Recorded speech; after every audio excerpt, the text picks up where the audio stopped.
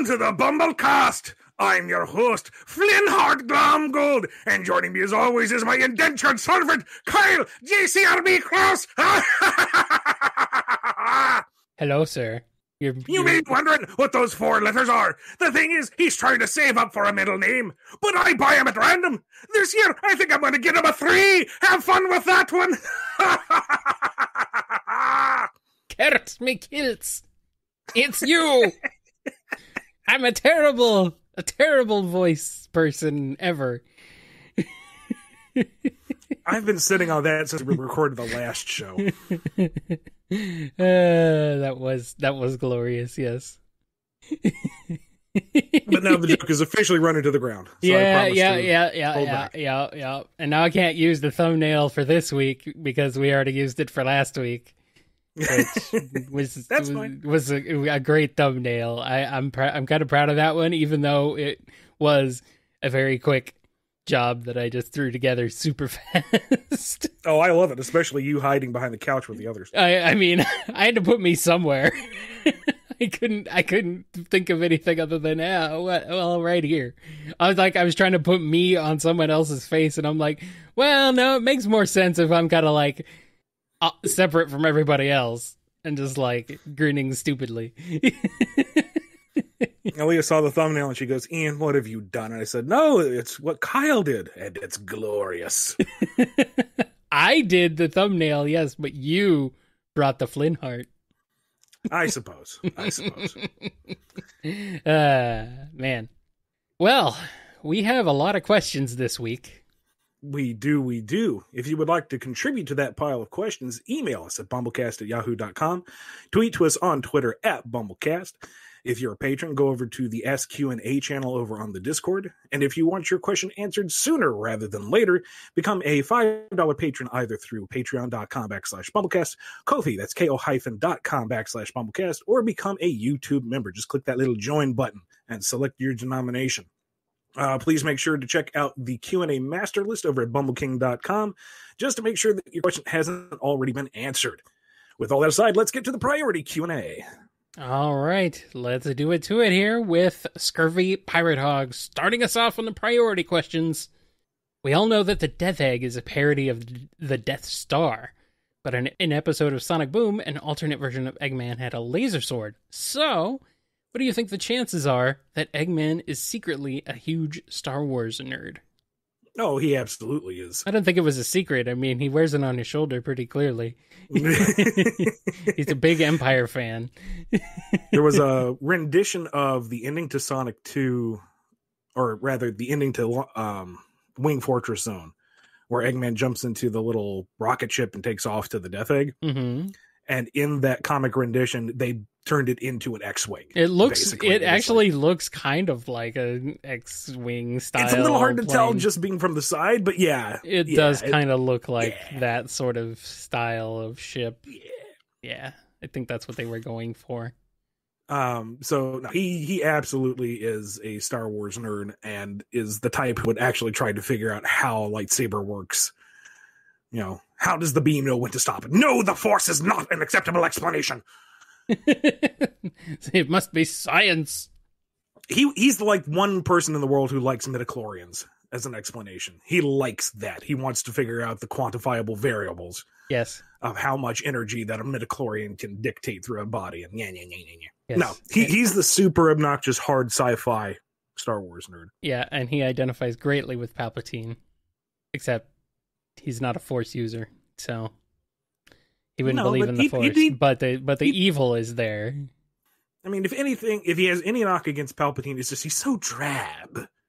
You're running an empire. Put a little bit of razzle dazzle in that cloak, for pity's sake. Yes, yes. You need presentation. That's what you need. You always need presentation if Mhm. you're a villain. That's what that's the important thing. Here's a question from DaniTheLight.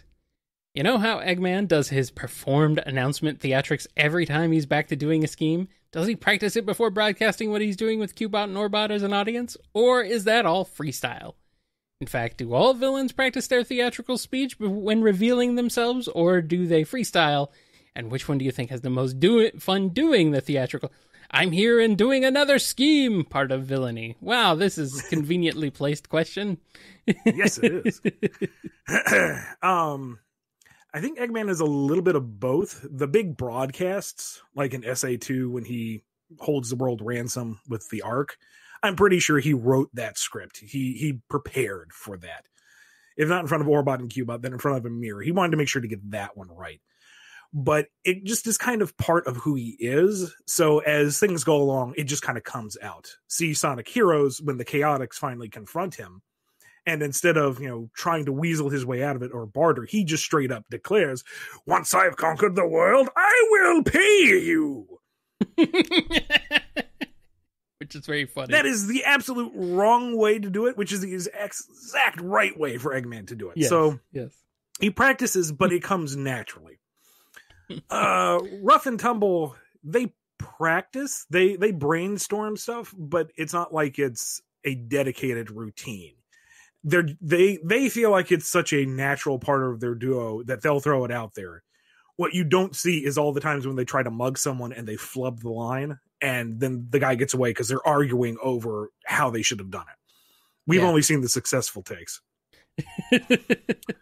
uh Starline is just he's the type of guy to study the script until he's burned a, po- a hole in the page by reading it too hard. He aspires to be like Dr. Eggman. He wants to be Dr. Eggman. So he wants to capture that same quality. And I think at this point, he's kind of gotten it down pat. He it's become ingrained, but he had to work towards it. He was not there initially. Have you heard the tragedy of Gerald Robotnik the Wise? I have to give credit to the chat for that one. That was not me. Here's a question from Speed Weed. Now, as with before, I'm not too sure if you're familiar with the Little Nightmares games, but what always gets me is that the first game had its own comic, and it had much more original content going on with it. It introduced some new characters, it had some interesting stories, it was overall expanding the world of the games by a little. And it wasn't just a straight up advertisement like Little Nightmare 2's minicomics. Long story short, though, it got canceled due to what I can only assume was a lack of interest at the time, but given the second game's popularity and the sheer potential to expand on the overall Eldritch Horror of the world, not to mention Bandai Namco's interest in continuing to delve into the franchise, would it be worth it to make another series of comics for it? Would you be interested in trying your hand at writing it, or is it a little out of your comfort zone? Uh okay, let's tackle this one in order. Do you know anything about the Little Nightmare series? I do not actually, other than Speed Okay. Weed having mentioned it in the Uh, in the Discord many many a time, but I'm not familiar uh, really with it. Otherwise, are you? Are you? yeah, I watched a couple of playthroughs of Oh, okay. the two games. The two games I'm aware of. If there's more in the series, I'm not familiar with them. But basically, you are a extremely tiny child going through this larger than life world full of horrible, horrible, horrible things, usually completely without any recourse other than to run and to hide. Um, the best I could sum it up is like a stealth platformer, So it's like kind of like Limbo, maybe. maybe, the- but or or in, but if in- inside, I think was what it was called. Those yeah, yeah, yeah, yeah, yeah, yeah, yeah, like those like two games, they're yeah. very similar. Yeah, they're very. Yeah, like Limbo and Inside. Okay, that's what they. That's what uh, Speed is saying in the chat. He's confirming that. So yeah. Okay. Okay, I mean, I, I hate to say you know stealth platformer because that makes it sound like almost Splinter Cell, and it's not no, no, that. no, no. Yeah, I know what you mean. but um so i am familiar in passing i am i don't i didn't even know there were tie-in comics um the first one i would imagine either like Speed Weed thought it didn't have enough support to keep going or comics are expensive to make Yeah. and if you're using it as an advertising tool and it's not bringing in enough revenue to justify its cost, it might just be something's got to go. And that's it. The fact that the second book was more of a straight up ad really makes me think that's what it was. That they wanted to use the book to expand the lore. It couldn't support it. And so, okay, here's your ad in a comic form to reach a broader audience, but we budgeted for that and it's succinct that's me speculating from the outside. I don't know if that's true or not. Yeah. I think a lot of people don't understand. Comics are a pretty expensive prospect, even just digitally. They're, not Mhm, mhm. necessarily cheap. You know, these these uh these artists, man, they want money. What the heck? These writers and these artists. what what? How dare they? I'm just kidding. I mean, credit to Studio Aether when we did Tales of Aether. Uh, they paid industry rate. Wow. So oh. Dang. like they they they went The game's on board to make sure that this was not a cheap cash in. yeah. Well, I mean, We- the we got- game's done we- quite well, so hmm And the the comic itself has star talent in it. yes, So, um, you get what Yeah. you pay for. Exactly. in regards of expanding the universe of that, now I've not read the comics, so I don't know how they presented the story. But I would be iffy about that only insofar as the Little Nightmares are very atmospheric in their storytelling. There's no dialogue, there's no text. right. It's all about you interacting with the environment. And so there's a degree of mystery and surrealism to them. And I don't know if that would necessarily translate to comics, which are a much more static form of storytelling. It could be done. I'm just, it would depend on what kind of story you're trying to tell and what information you're trying to convey. So I'm going to put that as a maybe. Hmm. As for working on it, sure. I am an absolute baby when it comes to that type of game. I couldn't play it to save my life. And I have to like bolster myself to watch it. That degree of separation makes it a little easier. But I can dish it out, no problem. I have no problem being the one hiding around the corner and going boo. I'm an absolute hypocrite. nobody cut that out. Nobody cut that out of context. Eh, whatever, do what you want. But I, I right- mean, I'm, obviously, I'm kind of inviting people to, to jump that out of context. I am an absolute hypocrite. Ian Flynn, 2021. hey, I try to be honest with the people. yes. But like, I think it for me, it's a matter of control. Like, if I'm playing the game and the game is built around scaring you and taking away control and putting you in peril, there's a direct connection there that gets to me. If I am the one writing it, I am in control. I know where the boo is going to happen. I know how it's going to play out. So I can't scare myself necessarily. And that's the difference. I wouldn't necessarily be able to read the thing to proofread it because I might go, but you know, in, in theory, sure, I could I could do one of those if they were interested. Yeah. Here's a question from Noni. Could Chaos get infected with the metal virus? And if so, how bad of a situation are we talking? No, chaos would be safe. Chaos, ca can, you cannot have liquid metal and water. Liquid metal and water don't mix. Like he would be like the only safe thing on the planet. Well, him and uh, Mephiles, right? Or Yeah, In- yeah, yeah, In- yeah. Infinite. One of them. Which one of them? I don't remember. Mephiles. Mephiles. Okay. I don't know. They're both the same damn character. How dare you? Mephiles is way better. I I don't. I, vaguely hedgehog shaped type characters who are evil and have unlimited power, godlike being powers. Whatever. I don't know, man. These- I don't know. The amount of ham Dan Green brought to Mephiles could feed a nation.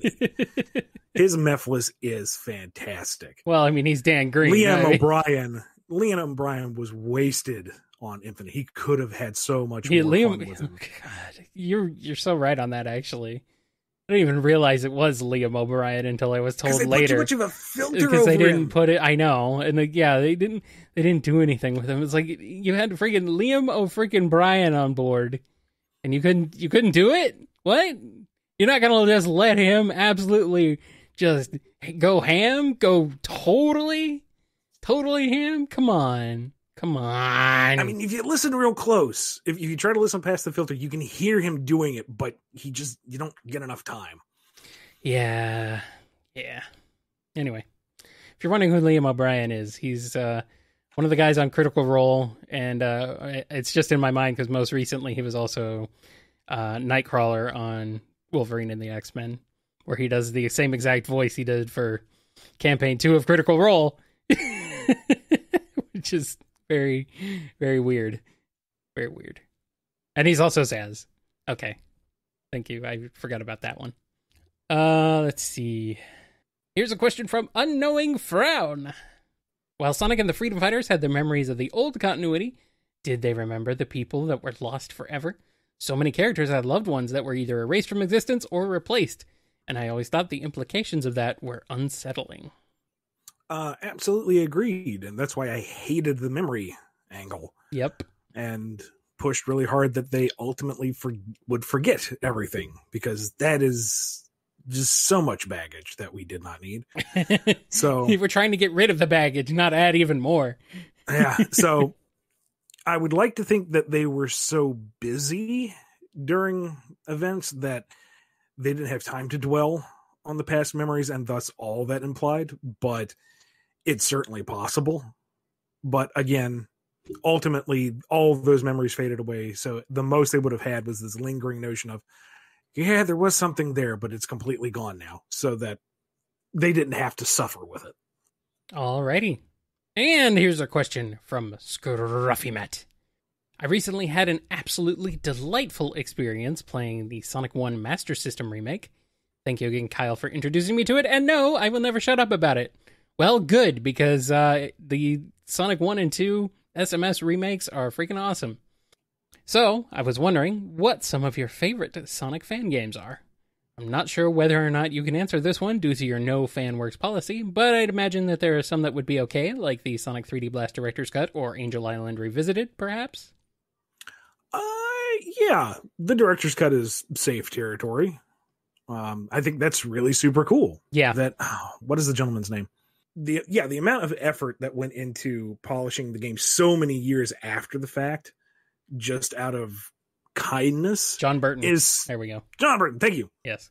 M- M- Mr. Burton's work is greatly appreciated, and it's just it's just super cool. It just it's a nice happy thing in the universe, you know. Yeah.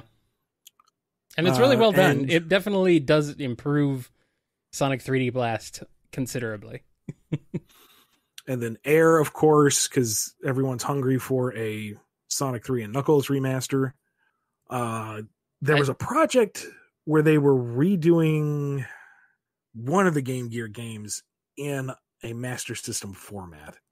They Yeah, have he- they've been there's been ports to, of like Sonic Chaos, I believe, has got a Maybe that's what port to Master System, which like fully redone barely a port. graphics and everything. Oh, okay. No, this is are we are we talking about the Sonic 1 and 2 8-bit remakes that Scruffy mentioned? I think Triple Oh wait, no, Triple Trouble. Triple Tr- That's right. Triple Trouble got a like a 16-bit remake. There we go. There we go. Yeah, yeah. Okay, I remember that. And that's no small amount of work. No. That's that's a- that practically a whole new game. And to do it just out of love of the franchise, it's just that's all really, really super cool. Mhm. And there's um one game out there that's built on the Doom engine. Sonic Robo Blast 2? Okay, I think that's the one where people can just like custom add characters. Yes. And I think I saw somebody on Twitter had a Tangle design for that, and she could just like grapple all over the place with her tail, Mhm. and it looked fluid and fun and cool. And it's like this, this is just freaking cool. Uh, there was a there was a bit where people were taking the Generations engine and rebuilding some of the other games, like Shadow of all things. the un- our Unleashed project for, Yeah, for yeah, Sonic yeah. Generations. Yeah, taking the speed levels from Unleashed and porting them to Generations was nice. Looked really cool. Was a lot of fun. But there was there was also one where there was also a few Shadow stages that they were. yeah, I think as there's well. been some ports of other other stages that have made the jump over. so all of that is just super freaking cool. hmm Yeah, Sonic Robo Blast 2 is like the OG awesomeness of the Sonic fan game history. like there's there's just so much stuff with that. Um so many mods and so many extra characters and stuff. It's it's pretty wild what sort of gameplay fluidity and stuff you can pull off with uh with the Doom engine of all things Yeah, seriously. and it works so well for 3D Sonic. Like, if the 3D Sonic games have gone for more of the style of Sonic Robo Blast 2, things might be a little different nowadays. But, eh, it, it's this is where we are now. So, but I like having Sonic Robo Blast 2 is it's like its own fan made thing. It even has a cart spin off. Crying out loud, which is awesome. I love I love SRB2 Kart. uh let's see what other ones. I mean, I'm a big fan of Air, Sonic 3 Air, and I think I think that that will probably remain the superior way of playing Sonic 3 and Knuckles even after the official remaster comes out. Gauntlet Throne. Yeah, yeah, it's it's good. It's a tough act to follow. I mean, there's so many just little customizations and options, and the the mod support actually also for for uh, Air is really outstanding. So I don't know, man. It's gonna be a tough act to follow. We'll see if uh, they can throw in half as many options as uh, as Air has. Um, let's see. Eh, those are really some of the ones that I like best. Some some of the older ROM hacks are pretty fun, like uh replacing Sonic and Sonic Two with uh with Sally. That's pretty it's pretty neat. And there's also one with Bunny, I think, and Amy. So it's fun to have those games. It's a it's a familiar experience, but you know, having a little bit of extra gameplay, a little bit of a different gameplay twist on it with uh with new characters. That's pretty it's always pretty cool and a lot of fun. Here's one from D Gamma. So there was a big reveal in issue four of Tales of Aether. Was said reveal your idea or a pre-existing one of Dan's or some other Aether team member? That was all Dan. Uh, actually, the whole story of was Dan's. Basically, he's got a vision for a lot of what's going on, and then I was brought on to help kind of steer and add to it. But Clairen's story was pretty much already set up. I just had the job of figuring out the details. But yeah, that big reveal at the end, that that was all him. And when he told me that, I'm like, oh, what are the implications? Uh, just for context, for those of you who are not familiar, uh, Clairen, who was added, who's one of the bonus characters, she's not one of the defaults when Rivals of Aether was coming out, got a small kind of motion light comic reveal trailer. And at the very end, there's this hooded figure who assists her in her time travel into the past. And the comic makes it implicitly clear who that character is and why she's around and why she's doing anything. And it was just, it was fun. And when we, when doing that issue specifically, it's like, all right, I want to do as many visual callbacks to that trailer because that's what the fans of the series are going to know. And now they're going to get the full story of it and just go nuts with it. So ah it was fun. It was a lot of fun. If you want to read tales of aether you can either find it on comixology or you can find it on the bumble comic shop. Alrighty hey yeah. Let's do it. Let's do it go read it go read it now here's a question from the hobo joe this is very much non-official but i wanted to hear your guys' take why, in your opinion, are Sonic and Tails such good friends? Before saying anything, or in Sonic 2, or Tails looking up to Sonic, and Sonic likes the little guy and his gizmos. Then there's the story of them meeting on the beach with the tornado. I think my memory is failing me, but is that really it? The duo are iconic together, best buds, almost brothers. But aside from that, why? Sonic is amiable, but never really sticks around save Eggman shenanigans, and Tails has been the smart one, a la Donatello or Gadget Hackwrench, since Adventure. What do they have in common? What do they talk about when they're not adventuring? Do they share hobbies? Why not, say, Knuckles or Amy? Closest I compared to them would be to Doc Brown and Marty McFly, and that's essentially the same question. Um, I guess there is a little bit of Doc and Marty there, but um, in, in a way, the, the the ages are switched, and obviously not nearly as many decades apart. Insofar as you have two very different types of people Right. just hanging out. hmm Um, I mean, part of it is the protege aspect is that Tails looks up to Sonic, and I think there's a degree of res- mutual respect.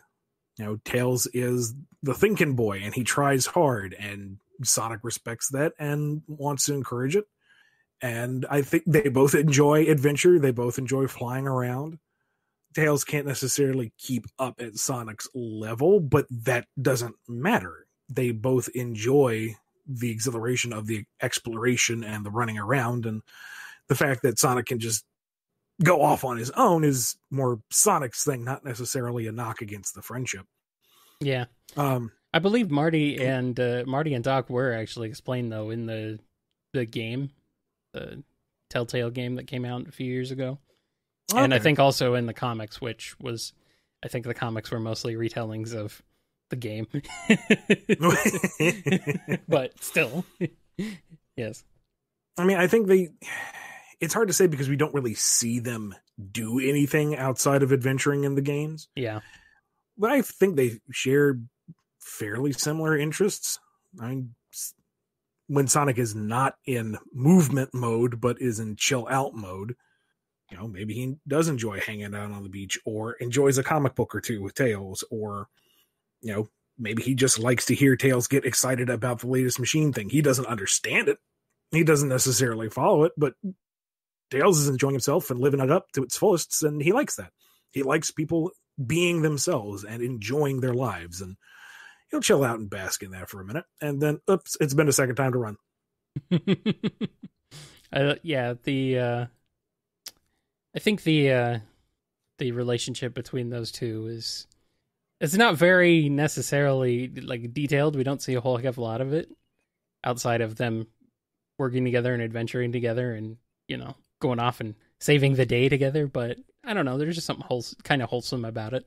But uh, yeah, that's that's really it. I don't have anything else to add. I guess Sonic Boom was a good uh, showed them kind of positively together. Sure, it got silly sometimes, but that's Sonic Boom. What do you expect? Here's a question from Drew Maru, aka Andrew D. Since Fang was confirmed to be a Jerboa wolf hybrid, have you been given any explanation on how that's possible? I would have assumed in the Archie days that maybe his parents were a wolf and a Jerboa, but now I wonder if that's still possible. Or perhaps he's a hybrid due to some experiment or something else. And I might as well ask if his official name is Fang or if it's still Nack while Fang is his nickname, just like how they did with Robotnik and Eggman. Uh, for his species lineage, I don't know. I am just gonna kind of smile and nod at that one.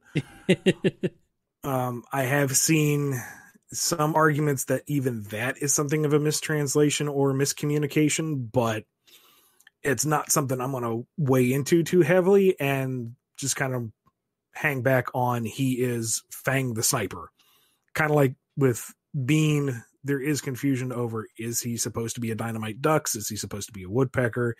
Is he actually supposed to be Ben or Pen? I can't remember which one was the green one but you know, just kind of dodge the issue and just say he's being the dynamite.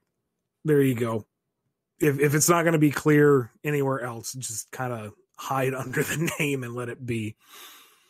As for his name, I am not a hundred percent sure on this, but I'm thinking Nack just might be kind of retired as a localization thing. It's not like Robotnik, who was so prevalent in Western media and yeah, is the main guy.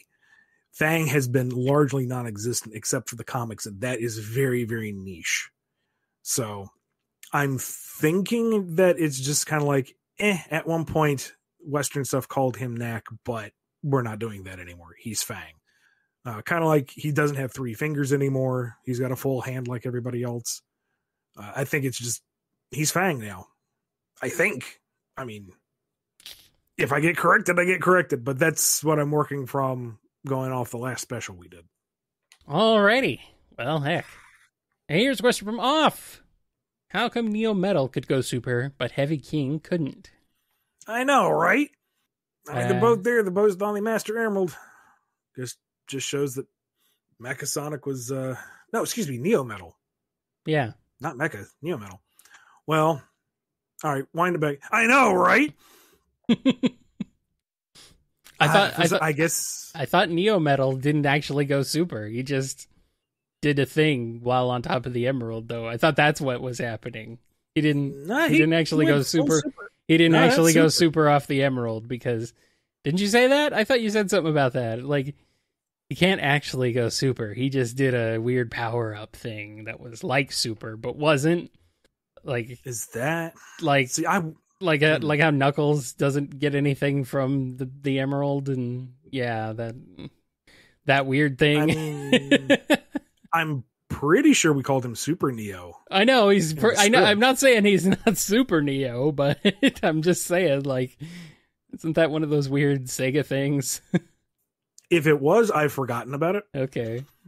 and we got him gold and we got him super powered. So at Yeah. that point, who cares what the minutia is? Well, a lot of Um, people. That's why we have so many questions. As for Heavy King, I actually had misremembered his boss fight in Mania and had it originally scripted as super, and that got flagged saying he doesn't do it. And I was all indignant and went back to find a YouTube video to say, "Look, there he goes," and it's like, no, actually, he doesn't. Yeah. Phooey. Darn. How rude. So I I guess the male hedgehog thing extends to the robots. Stupidest thing I've ever heard in my life. I've heard some pretty stupid things, but man, that's pretty dumb. I don't know. I don't know. uh, metal gender confirmed. Whatever. Whatever. Whatever. Sonic is stupid. Here's a question from Sonic Sonic Sonic. Can you please ask if any of the classic games are still canon to the modern characters' past, and if classic Sonic is Sonic from the past, or an alternate dimension version of Sonic, or is the classic world an alternate dimension or a split timeline created by the events of generations? I really don't care what the answer is, as long as I can finally get a real answer from Sega. So please send this question to Sega and get back with a real answer directly from them so we can finally put this classic Sonic discussion to rest. Okay, number one, no, I can't do that. That's not my job. That's not my position. I can't just write up Iizuka-san and say, "Hey, buddy, what's up? Can you clarify this one question for my podcast?" It, I, I mean, I mean, you've it work like that. here's the thing: you've already asked most of these questions to Sega anyway, probably in a lot of ways. so My hmm. the the assumption I am working under, big asterisks there. Do not take this as canon. Is that yes, the generations storyline caused a split so that up to that point it is the past and now he counts as an alternate past. But I don't know if that's what they're going to stick with because the next game might completely contradict that. I don't know. So hmm. Ultimately, Sonic contradict things? Never, never happens when Sega's involved. I wouldn't worry about it because I don't think they're ever going to do a Mega Man Classic to Mega Man X style transition. I don't think we're ever going to get our classic Sonic Cataclysm and transition hard into the modern style. Uh, my my guess is that Classic's going to become a kind of brand, and Modern will be a brand, and every occasion, once in a while, the two will meet with you know Classic showing up in another Modern game, but. I don't know. This is all speculation on my part, but I don't know for sure, and I am not in a position to ask anyone directly about it. Not not to satisfy a podcast, at least. yeah, yeah. Uh, it's kind of funny though, because like it's just cannot get this, cannot get this. You cannot get an answer. You will never get an answer. The answer you get now will be a different answer tomorrow. That's that's kind of the thing you got to understand. Like your real your real answer directly is not necessarily the final answer.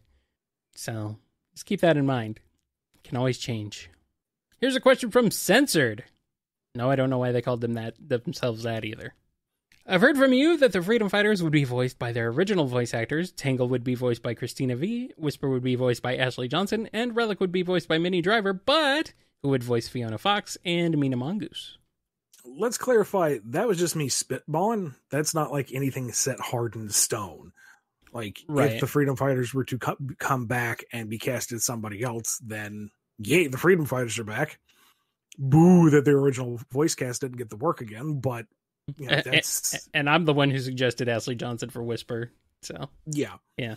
So I'm don't take that as Ian confirms this will be the future. That's that was just spitballing on previous BumbleKasts. Um I mean there are plenty of talented voice actors out there that could do any of those characters. Those are just the ones that have kind of come to mind in casual conversation. sure. Uh and returning to that topic, I'm so bad with voice actors. I can't immediately think of anyone for Fiona or Mina off the top of my head. well, for Mina, I can't think of anybody specific for her, but she had, I imagine she would have kind of a similar voice to Amy. So I wouldn't say that she should be voiced by the same actress as Amy, but uh, something similar to that sort of voice could work. Um, as far as Fiona, um, what about um, Grey DeLisle doing her Azula voice? Yep. Yep, yep, yep, yep, yep. Yeah, yeah, like maybe like a slightly deeper Azula or something. I could I could see that working. Deeper, really? Maybe a little deeper. I don't know. Maybe, maybe. I don't know. She I just, would say but she just has that. Uh, she just has that level of just absolute smarminess that I think works out works really well. For I her. would say not as slow and deliberate as Azula was. Azula's execution was very deliberate and meticulous. that's true. Yes. for the most part, and Fiona is much more laid back than that. so a little faster, a little less deliberate, I guess. But yeah, the voice itself, the intonation and the delivery, yeah, I could see that.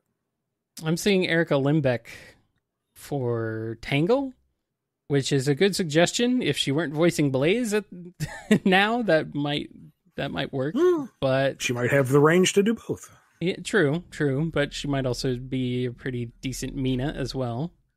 I could see that. Um, otherwise, Steve Blum for everybody. Just have him voice the whole cast. Why not? See what happens. I like that suggestion. Or Scott McNeil.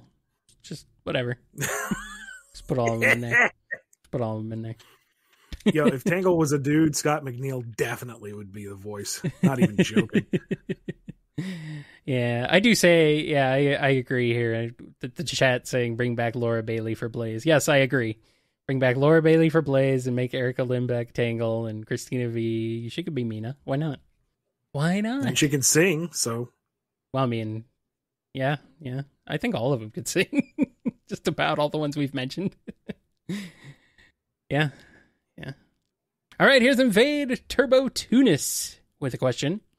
And I'm saying, and I'm getting word that I've just made a small portion of the fan base angry. Dude, they don't care what I have to think. they don't care what I have to say. I can say whatever I want.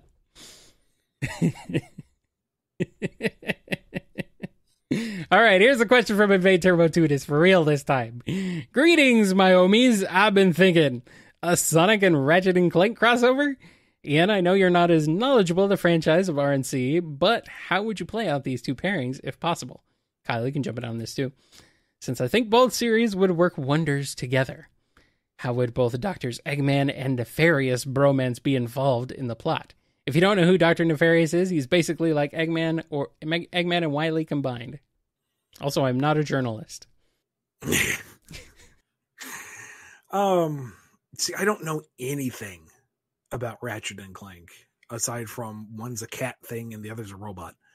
Um And then there's There an alternate be- universe version called Rivet, and I forget who her robot companion's called.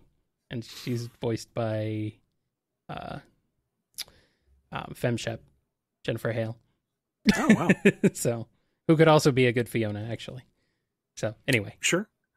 Uh, I, I can't even begin to form a basis. 'cause I don't know what Ratchet's personality is like. I don't know what Clank is like.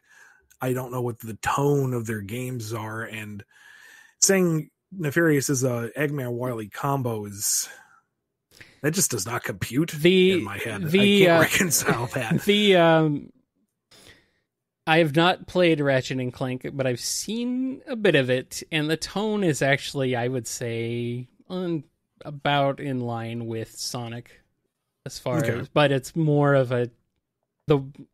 I don't know. I was gonna say the world is a little bit more cyberpunk style and tech, tech technology driven, but I don't know. That could just be what I've seen. But yeah, it's it's he's not too different from Sonic, but it's more. I think there's more spacefaring stuff Okay. and more, I guess, funnier, comedic, more more comedic. But I mean, I don't know for sure. It looks like a fun game. I want to play it. does look like something that's up my alley, but and guns. Oh Mm. yeah, lots of guns. Mm. All the guns. I mean, if it's spacefaring, then I guess that's your introductory angle as they come in from outer space. Yeah, yeah. I don't know how hands on Nefarious is. So is he chasing them down? Are they chasing him? And then it's your typical, you know, meeting of the minds type thing. But this is like such broad strokes. I almost feel, I feel like I'm insulting myself with how generic that is. Uh, I don't know. I really, I wish I could give you a better answer and just kind of have fun with it. But I, I know nothing about Ratchet and Clank so I can't give you any kind of legitimate or even fun answer. I like how the villain is literally named Nefarious. Like, Hmm. like was he was he was he kidding anybody with that one? That's like uh, calling yourself calling your entire uh, race the Decepticons. What? What? What is It'd be fun if they did a like young Frankenstein pull on it. Doctor Frankenstein, that's Frankenstein. Exactly. Doctor Nefarious, Doctor Doctor Nefarious. Yeah. Yeah. Yeah. Yeah. and our final priority question for this week comes to us courtesy of Wolf's Bane. Ian, I'm curious how you go about the writing process when you write an arc for Sonic. Could you describe how you form the idea, go through the drafts, and edit it down to the final arc? Do you bounce ideas off Aleah, Kyle, Evan, etc.? How involved are the Archie IDW editors? Does an idea come up mid process that makes you redo everything you've written thus far and make you start over? First of all, I want to clarify I'm putting this out here. I have never seen a draft. I have never had any ideas come to me from Ian about this. I have nothing. I have zero. I've had zero involvement with anything comics related. The first time I see the stories is the same time everyone else does. Just putting that Yeah. out there. So I'm not. I'm not privy to. Uh, I'm not privy to what's actually going on on the in, insides like that. So I am not a journalist. I mean, we work closely together to make BumbleKast happen, but Kyle is not involved with any of my other projects. Not that I'm So- aware of. No. It- Don't check the vat in the basement. Any- anything he for that. if he sneaks in anything that's a reference to me, I don't know about it. I have no clue. There's probably something in there, but I've never seen it. then again, I'm way behind on Sonic comics, so who knows? Course, now that we just put it out there, I almost feel like a jerk. Yeah, this is Kyle. He's my friend. He helps me a lot with this big project we're working on, but I tell him nothing else. no, no, it's fine. Actually, I the thing is is that usually if I'm wondering about something, I'll just come to you about it. I'll just ask you about it. But you Hmm. don't we don't you don't send me drafts or anything and you don't have to. it's not necessary. Well, I can't. That's part of the job. I mean, yeah. if I were to do that, I would be in big trouble really fast. yes, yes. I mean, I mean, Evan works on the comics, so that makes sense, and Aleah can just look over your shoulder, so that's that's that's different. But no, not me. I'm I'm out of it. I don't want to know. I Uh. want to see. I want to see. I want to see what happens as it happens. I don't want the. I don't want the inside. Anyway, go ahead. Sorry. Uh, to actually answer the question, we'll just stick to the IDW process right now because that's the most current, and because we've kind of answered this question in the past. Yeah. But with IDW Sonic, uh, at least the first arc, having come off of the previous incarnations of Sonic comics and being these very long, decompressed, interwoven epics that kept dying on the vine, I wanted to do something that was succinct. Like, who knows if this book will last? Hopefully it does, but you know, just tell a story and get it done. Make it accessible, make it very Sonic centric. So something that is fun for new readers, but also kind of fun for the veteran readers who like the minutia and the deep dives into the game lore. So with that hard one year limit I gave myself and those criteria, is like, okay, well, coming off of Forces, Eggman, what happened at the end of Forces? Who knows? Where is Eggman? Let's play with that. Let's bring back a villainous force in game that people would like and could be in a fun dynamic way. Oh, let's see if we can get Neo Metal back. Okay, so Neo Metal's back. What is his plan? How does it come about? What are we doing with each story? How is this introducing new readers to Sonic and his world and his friends? And just kind of looking at the overall goal, which is Sonic foil- foiling Neo Metal's plan. And how do we get there? Where do we lay the seeds for the big finale? Where do we show the reveals? who do we introduce where and when and how and then kind of start kind of draw the picture first and then color inside the lines i guess to draw a very basic analogy um and the biggest changes come along when we get notes back from sega on what we can and cannot do or what they would prefer to see. Because sometimes those are just very small scene changes and it's like oh that's a neat idea. Yeah let's do that. And sometimes it's we can't access that. Okay so how do we still tell the story and still achieve what we want to achieve without those elements? And nine times out of ten it's not that hard to work around like i wanted marine to show up at the end of metal virus as the one who finds sonic unconscious on the beach but they didn't want a new character, quote unquote, being introduced at the tail end of a story arc, which I kind of get, kind of. Yeah. So, yeah. You know, she wasn't crucial to the story, and I still got my little nod in there with Sonic referencing a precocious little girl.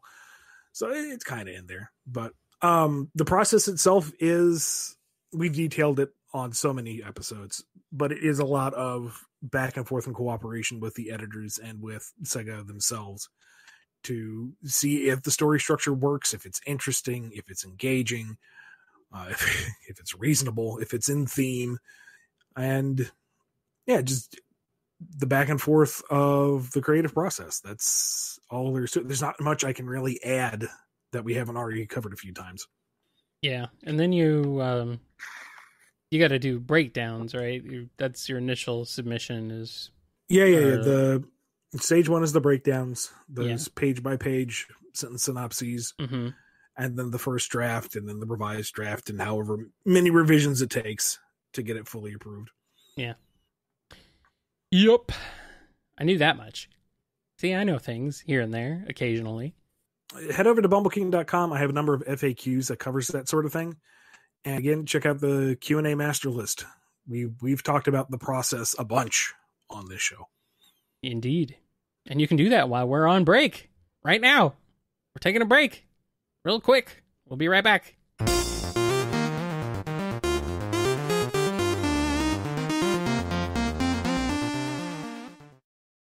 Time to get into the standard Q&A, starting off with one from Lucas R. In the Archie comics, it is shown that Sonic can vibrate his molecules to become intangible. Can he do this easily, and for how long do you think he can do that? For as long as the plot requires it. Pretty much. Same uh, for the uh, Flash. yeah. Because that's where that was inspired from, I'm sure. Absolutely. I think he only did it like twice. Yeah. And it almost surely was a Flash me- reference both times.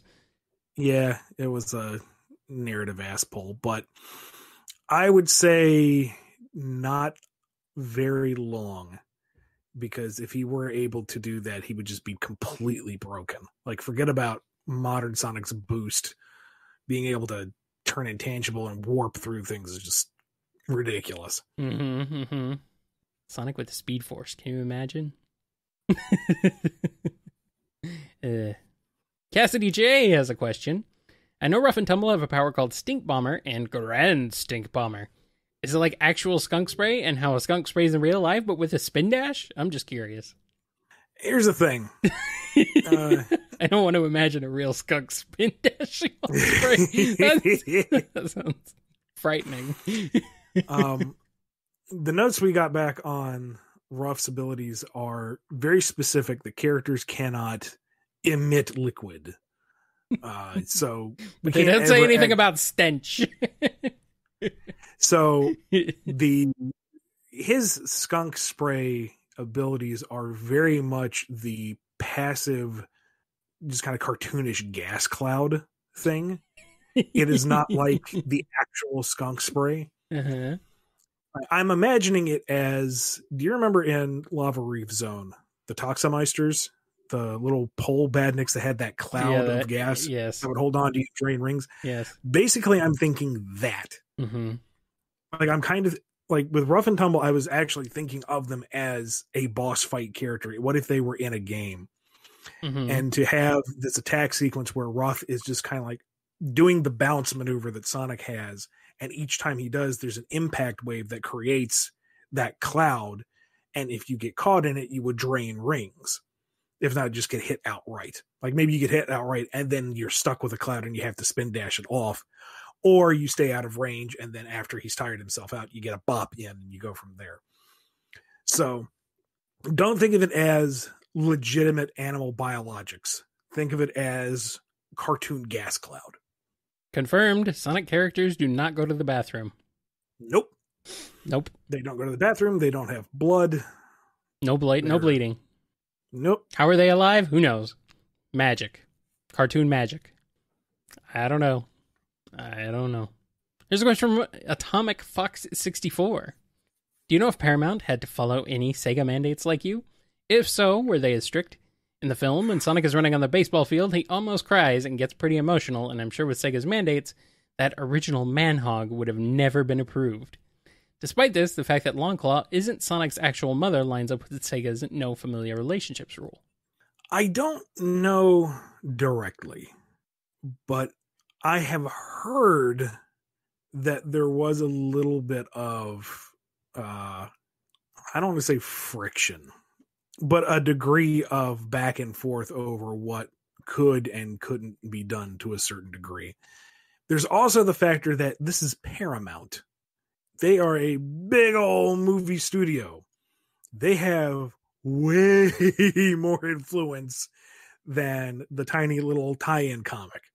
So when you have a movie studio that can have global impact and is throwing around millions of dollars, say, we want to do this, that goes a lot farther than one hairy fat dude at a computer saying, I want to write this. There, there's different scenarios there. Um, I thought it was interesting myself watching the movie and seeing how Sonic Speed was depicted, mm-hmm. what they did with you know just every aspect of his characterization and backstory. They had a lot of latitude, and I would imagine that's primarily because you don't fight Hollywood. I, I'm thinking, did Sega kind of just give them the license and they just kind of had a carte blanche with it? for the most part, kind of like uh, kind of like maybe with Godzilla '98 when when that happened, or the Super Mario Brothers movie, kind of. No, I know Sega is aware of the movies and has some input, but there's also, from my understanding, a degree of understanding on their end that this is the movie. The movie is going to be kind of its own thing. Sure. I suppose. Again, take that with a grain of salt because I'm not involved with the movie, so all I've heard is like second and third hand rumor. I could be completely wrong. Yeah. Hmm. I'm kind of wondering. I'm kind of wondering just how much input they actually have had, though. Hmm. Maybe someday there'll be like a documentary on it or something. Somebody should do that. Hmm. I'm kind of curious. You'd think with the with the massive, massive outcry that happened with the uh, initial design that uh, like a, some kind of documentary or even a book would be interesting. Kind of like the the uh, console wars book with Sega and Nintendo. Mm-hmm. Kind of see how Sega and Paramount and what happened with that. So could be interesting, but I don't know. Probably in like another twenty years. Here's a question from Dominic R. If you have the time, I wanted to type you a question regarding writing for franchise characters. You've breathed such life into these comics, especially the universe run.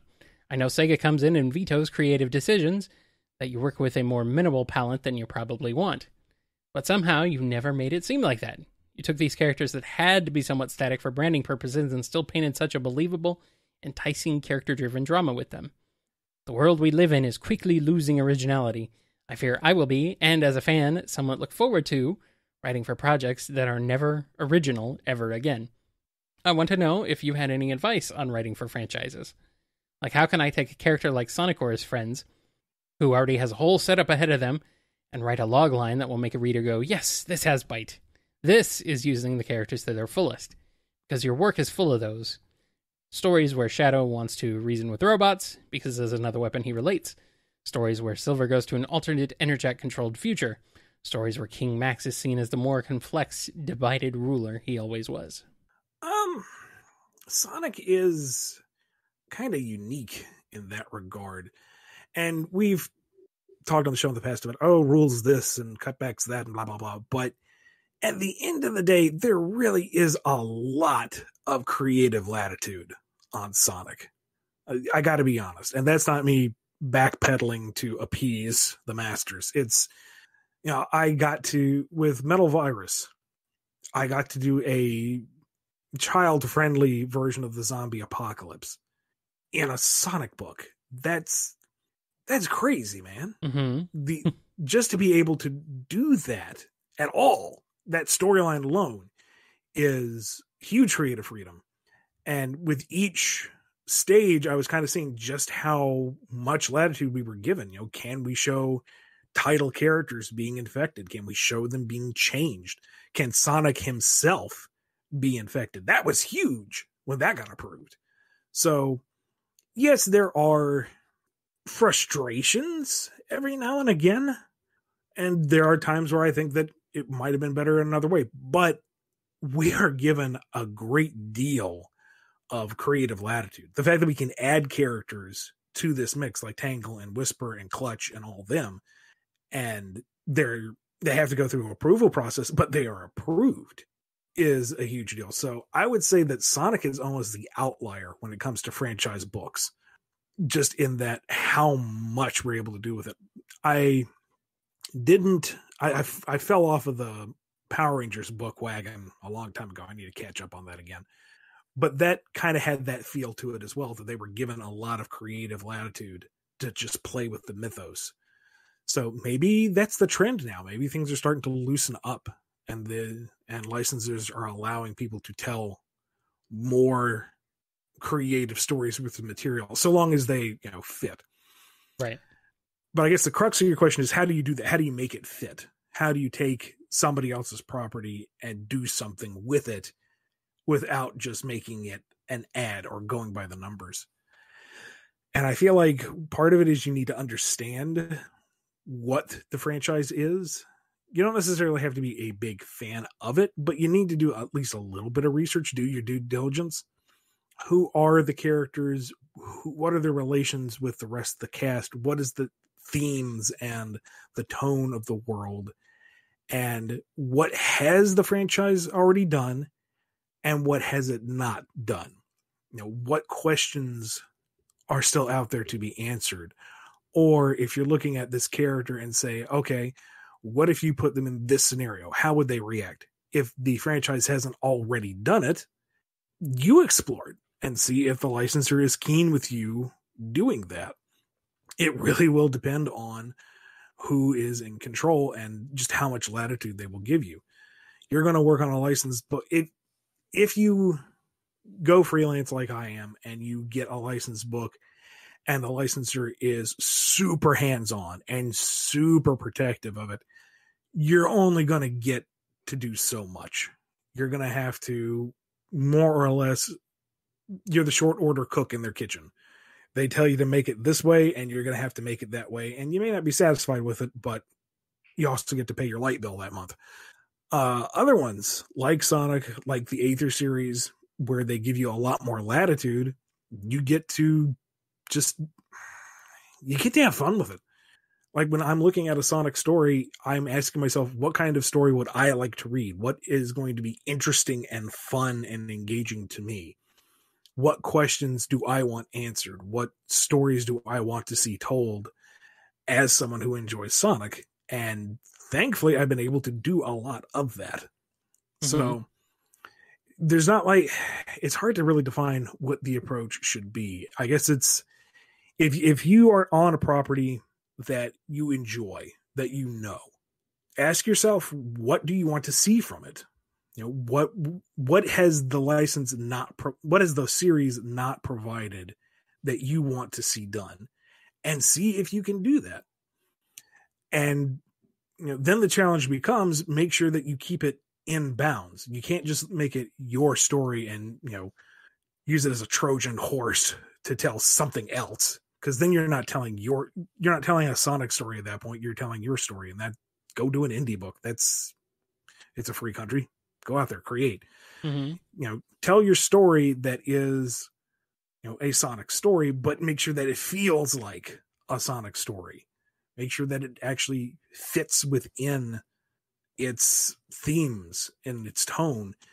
And that's what the licensor is there for, is to tell you whether or not you're sticking to uh, that criteria that, it, that you're making it feel like a Sonic product. And in that case, that's when the licensor really is a big help. Yeah. I think Sega is maybe kind of realizing, because we've mentioned it many, many, many a time on the show, that uh, Sonic has a lot of potential that is just untapped. And I think maybe Sega's starting to realize that it might be good to maybe kind of start tapping some of that potential I hope. so, yeah. I think it's working out pretty well, though. Working out pretty, pretty well. Here's a question from Christine P. Can you give me an idea of what is and is not negotiable in a work for hire contract when working for a company like IDW or your previous com- company, Archie? Do you get paid royalty still for your old work, or is that something that is non negotiable once the contract ends?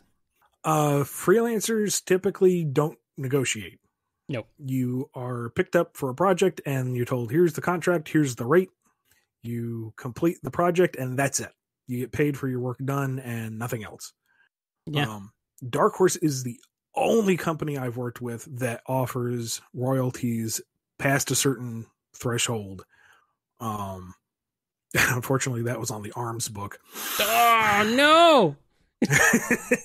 No, Nintendo, Dark Horse, whoever was involved on that. No, how dare you? No, no. But no, no. Everything I've done with Archie, everything I've done with IDW, everything I've done for everybody else. Uh, if it goes into reprint or anything, I don't see a dime from that. That's just the nature of the contract. Yeah. Um, if you get to be a big name in the industry, and I'm talking like big name, like someone that your non comic reader may have heard of. Hmm. Then you might be able to say, here's my personal rate. Can you match it? But 99% of the folks out there, if if you can land a gig, you're just happy to have the gig. Yes. And I think I think a lot of people don't necessarily realize that. It's kind of a it, it, it's not my favorite thing about the comic industry or any freelance industry is that you're not paid for sales. You're just paid for the job you've done and that's it. But that's just kind of how it works and yeah. Unfortunately, you're one tiny cog in a larger machine. You can't really, you know, you're not the one you can't be the driving force behind that change completely just as a single person. So, like for for comparison's sake, I am not one of those big names remotely. No. Like I've I have been kind of the voice for Sonic books for 15 years. I have no power at the negotiating table. None. And that isn't to say anything nasty about IDW because they're perfectly nice people, and you know the editors I work with, they are not the ones who make the decisions on that sort of thing. So uh, that's just how it is. It's it's for hire contract work. I fulfill the contract, and that's it. Hmm Would it be nice if I got some residuals off of that? Sure, sure it would. But that's just not what the contract is, and I knew that going in. And Yes. that's the choice I've had to make is do I want to work on this franchise that I enjoy and do it for a pretty good rate? Then yeah, that's my decision. And if I want to do something more within my control that would, you know, have any benefits reaped solely by me, I will create my own, which I'm kind of doing now. Yes. So Yes. so it goes. There's some people who could who could uh, still do have learned that route, learn that uh, learned that thing, learn that, That's uh, uh, uh, A decade let's not go ago. but we're not going there. No, we are not because we have two more questions. Here's one from Rich the Echidna. Hi, a question for the BumbleKast. Which is the best version of Sky Chase? Sonic 2, Pocket Adventure, Sonic 4, Episode 2, Sonic Adventure 1, or Unleashed 360? Hmm. Here's the thing Unleashed 360, I'm not familiar with. Didn't get that far. All the other ones, I'm gonna- yeah, I know that. I'm not familiar with Pocket Adventure. Hmm. Pocket Adventure is basically just Sonic 2 rehashed. Okay. Uh, Unleashed is off the list entirely Okay. because that is a kind of rhythm pattern button masher and it's not fun at all. I hate it. Um, y- you do it twice in the game, and I'm very happy that you never have to do it again.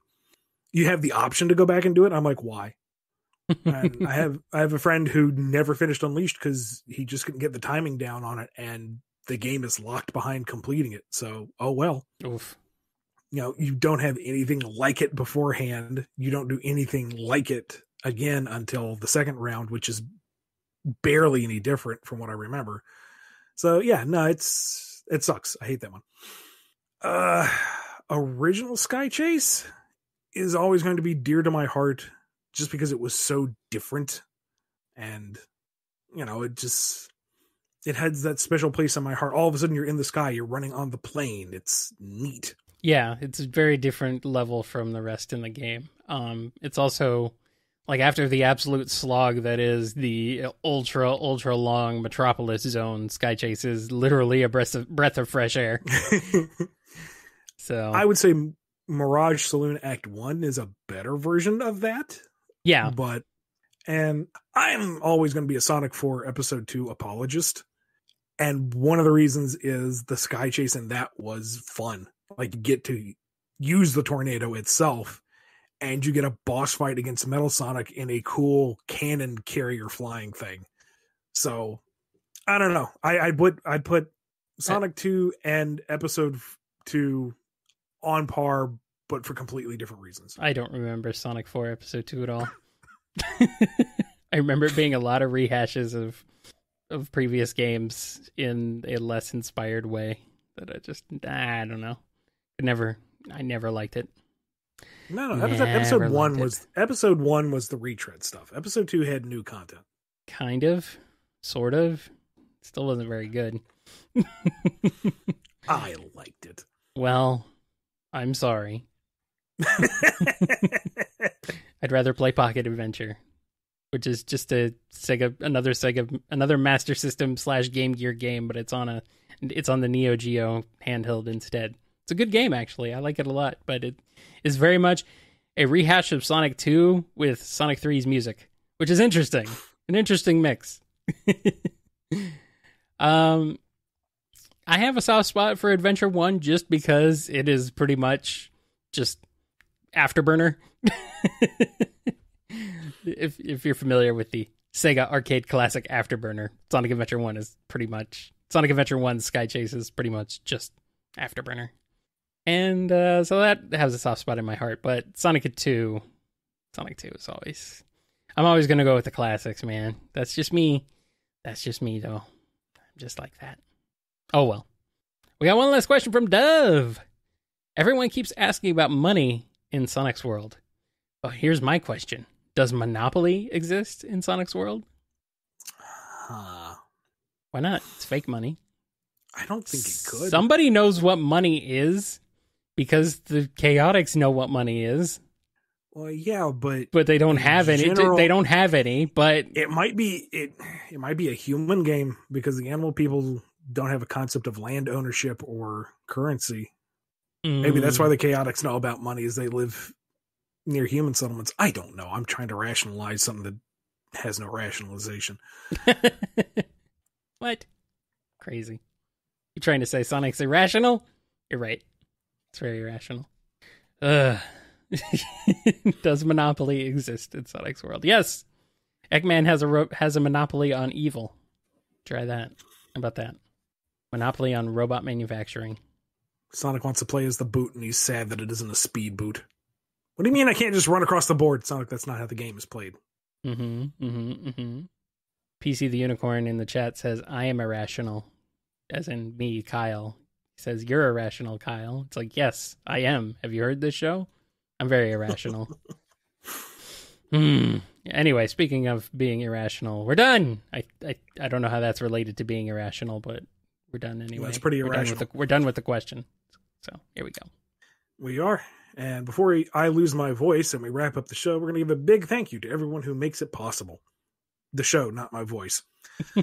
big thank you to Daniel H, Alex P, James K, John B, Jennifer R, Robotnik Holmes, Samuel P, Sam Cybercat, Torchbound, Justin G, Mike B, Coupland Crew 128, Do as Diz Den, Diane W, Bradley TT, Andrew D, Scruffy Matt, Chris A, Sony, John M, Salute Your Cat, Noni, Don B, Yami M, Dave M, Sin Fritz, Lee HK, Off, Lisa M, Chevelle, Silly String, J Frost, Piggy Bank, Blue Title Gamer, Jib, Hero of Light 13, Justin S, Tick Tick, Fine Leo, Digama F Well, Ryan D, Speed Weed, Jonathan D, Rachel W, Godzilla, Chaos Universe, Sonic Legacy, Daniel B, Dadler the Dalek, BC the Unicorn, Dove, Preston M, Sonic Sonics Sonic, Red the Supernamic, Fiona M, Joe S, Flixie, Chad, Jonathan R, Owen BD, Chase L, Renard Pixel, Creative Name, Les, Sapphire Scarletta, Turbo, Cooker, Danny Light, John the Real Waluigi, Lewis J, Noah S, Invade Turbo Tunis, Censored, Lexi D, Corgiro Highwind, Wolfsbane, Scurvy Piratehog, and Unknowing Frown. Hmm. Wow. Lots of new names. Thank you for coming aboard, everybody. Where can the people find you on the internet, Ian? Find me on Twitter at Ian Flynn BKC and check out my website, bumbleking.com. That is the Bumble Comic Shop where you can buy comics signed by me because I am not doing conventions well, with the plague going around. You can get the full Tales of Aether series digitally, and every month there's some kind of discounted deal going on. So make sure to check it out. You can also find the BumbleKast Q&A master list there. Make sure to check it out, see if your question has already been answered. Kyle, what about you? you can find me on Twitter at KyleJCRB, where things go down sometimes on occasion. You can also find me over at kngi.org. That's where all the archived episodes of the BumbleKast live in MP3 downloadable format for your listening pleasure.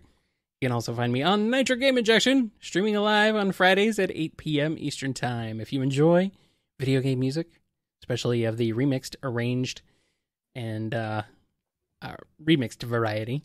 Did I say remixed? I might have said remixed. You did. I, I yeah. Well, you, I said remix twice, so there you go. Yeah, that's where that's where you can listen to those. Especially, I, I play a lot of Sonic music because I love Sonic music. So yeah. Follow the show on Twitter at BumbleKast. Email us at bumblekast at yahoo.com. And listen to us on Apple Podcasts, Google Podcasts, Amazon Music, Audible, our YouTube channel, and kngi.org. And also, the Bumble store is open for all your Bumble needs. So go check it out. Shop.spreadshirt.com slash Bumble store. You're gonna need you're gonna need that mask, probably. So head on over there and get one. Or anything else you want. I mean, I don't know. You can put our you can put our logo on whatever you want. Do it. Do it now. That's going to wrap us up. Be good to yourselves, be good to each other, and we'll see you next week for more BumbleKast. Bye. Yay. Bye. Bye. Yay. Bye. Yay. All right. Uh, yep, yep, yep. Everything is fine. Get the cobwebs out. Everything is fine. Nothing is ruined. Nothing will go wrong. Nothing will go wrong. okay. Because my ears are filled with coughing. I'm so sorry. It is fine. I'm just uh, making an observation. Also, stop eating the cobwebs. Yes. I can't help it. The spiders crawl in there when I sleep. Uh huh. That's definitely what happens. You eat eight spiders a night, or however many it is. I mean, where are they during the day? Who knows? But at night, man, they come right out. Mm-hmm. They're just all over your bed. Oh, that's disgusting. All right. Somehow. I warmed up before the show because I knew that's how I was going to open it, but I think I still managed to burn myself out a little bit. Did you? your your Flynn Hart, you your Flynn Hart went too far. Poor Flynn Or Hart. did it not go far enough? Ah! You know what you can bank on me? Because I'm cash, baby! Maybe don't do that. no. Maybe don't do that anymore. For now. No. For now. No. You've been listening to the BumbleKast, a co-production of Bumble King Comics and the KNGI Network. Original theme music composed by Ken Coda Snyder. Remixed intro by Tee Lopes. Find out more information, along with podcast feeder links, MP3 downloads, and more at bumbleking.com and kngi.org.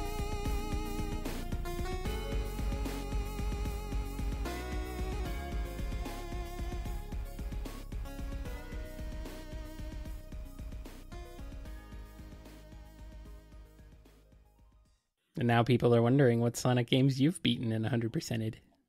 Oh, not many. Well, legitimately or not, I don't know. like the the beaten beaten legitimately only starts at adventure. No, that's not true. S S three and K because that is a safe feature. Yeah. That helps. oh, for me, uh, Sonic 1, CD, Sonic 2, Sonic 3, and Knuckles, and Chaotix. I've all I've 100%ed on all, all of them. Uh, Adventure 2, Adventure 1 and 2, beaten them, but not 100%ed them. Heroes, I 100%ed. You guys watch me do it. uh, Shadow, does getting one of the endings count as beating it? I don't know. yeah, I guess. 2006, never even played it. Unleashed, uh, never got past the first boss because I was frustrated and not in the mood to play it, I guess, and then just never went back to it. Colors I've beaten, not 100%ed though. Generations I 100%ed. Lost World I've beaten and I'm never playing it again. Mania I've beaten, but not 100%ed. I should, but I have not. And Forces I've beaten. Forces, yeah, actually, I think I have 100%ed Forces because it's not very long and not very hard. Mm-mm. Unless you want to count like all S ranks or whatever as 100%, I don't know. But Well, yeah, Yeah. I guess you would, but if you're like But, on um, completionist, but yeah, I mean, I don't really consider it that. But no, the Adventure 1 and 2, the only reason I haven't. I wouldn't consider myself having 100% of those is because I didn't mess with the Chao Garden in either one.